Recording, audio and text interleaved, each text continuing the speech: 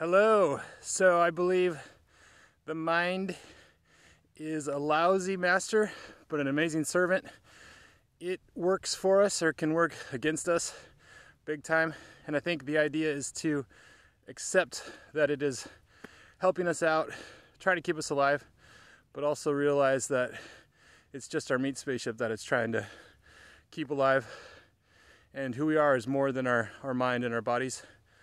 And to really lean into who that person is behind the mind and uh, within the body. And I think that is a, a healthy aim. And I find by getting out and exercising, especially in nature, it really helps me tap into that.